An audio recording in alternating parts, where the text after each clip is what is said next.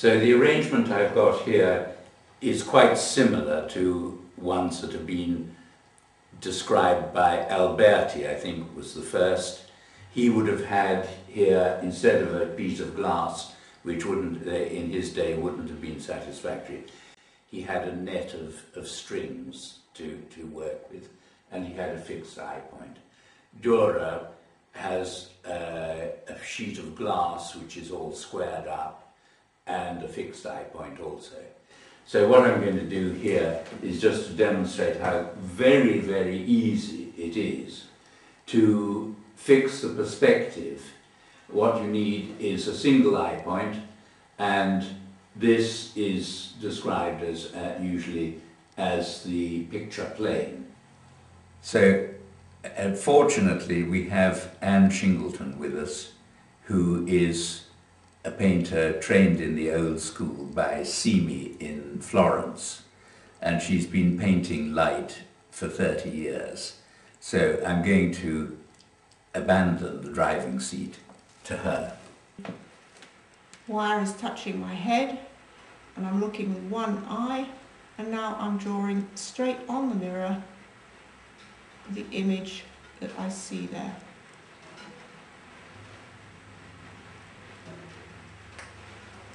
When this is completed, this can be traced and the tracing can then be put onto the... All I'm doing now here is tracing over the drawing that I have taken from the mirror image drawing and um, putting it onto a prepared canvas which has a slight tone put on it, a tone that we think uh, perhaps Vermeer would have used.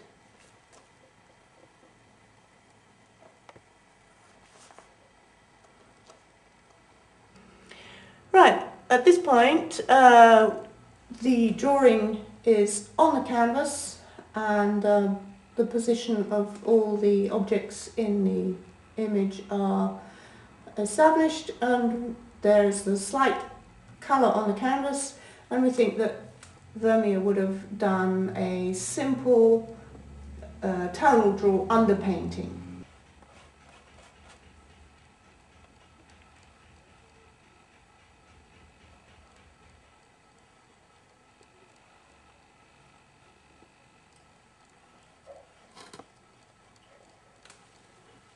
here we are now with the painting with a bit of tone on it. Um, I've re-looked at the, the drawing and um, made it a bit stronger, filled in various areas that were a little bit difficult to see with the mirror and um, put in the main tones so that the whole picture is beginning to hold together a little bit and I can see where I'm going to prepare me for when I start painting with colour. And I see you've got this tone scale.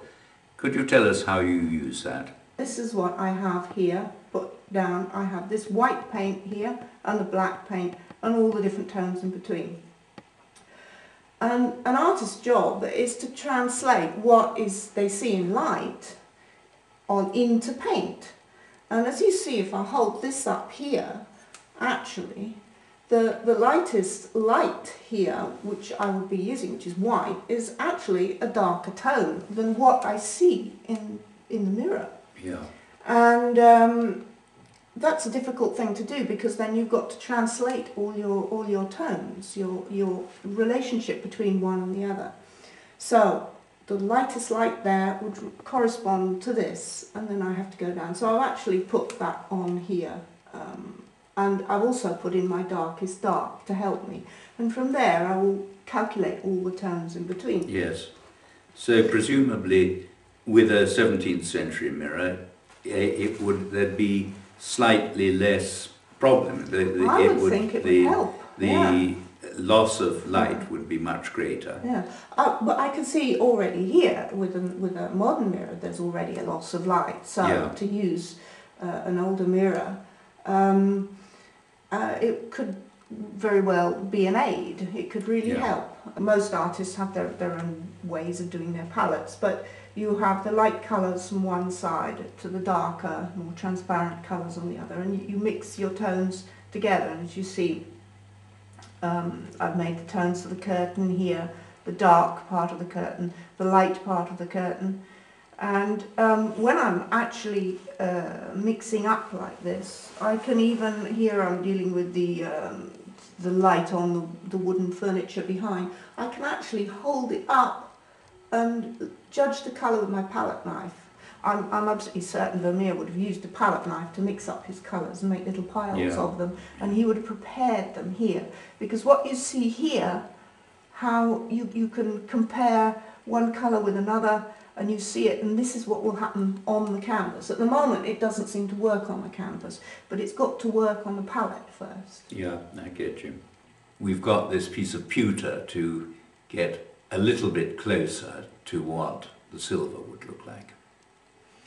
Yeah, this is amazing. When you hold it up to the and get the same sort of reflection and compare it to what's in a, a modern mirror, Yes, you can see that the lights are really toned down. They're much darker. And in fact, your whole tonal range is, is squashed. It's Yes. much shorter. You don't, the darks are much lighter too. okay, and uh, tell us what you feel you've learned from this experience. in the mirror everything is quite small and so you Yes. can't see it very well so basically you just have to paint what you see and um, this i think is what uh, Gowing refers to as the optical way of, of um, representing things and um, so you end up just painting little wedges of light uh, and the wonderful thing about the mirror is that it's all there. You can compare one wedge with another, which makes it much easier to Yeah. calculate. The other thing, uh, it's perfectly clear, and even it's clear seeing um, Vermeer's work, is that he was a highly organised man, very scientific, really. Yes, indeed, yes. And um, he must have laid his colours out beautifully and spent a long time working out the colours and the tones on his palette. And then when he put them in, he put them in ta, like that, just beautifully, not Yeah. messing around, no, no, no fussing over, no repainting. He knew exactly what he was doing, and he pop, he popped it in. Yes, And since, really, if you get the wedges of light right, well, then when the eye looks at a picture, um, it's going to function, it's going to work. yes, it's, it's going to reconstruct reality That's right. Yeah. um, without any of the usual mental equipment that uh, uh, Gowing says something very nice about it. Uh, it's difficult to think of any parallel anywhere to his rejection of both the mechanics and the mental background of painterly perception. yeah. That, that yeah. he's completely uh, ignored what other people have done up till that moment, that That's he's looking at light. Yes, it's really astonishing. pioneering. Yes, Yes. absolutely. Yes, When you're trying to judge a set of tones, uh, it's very good to have something dark nearby.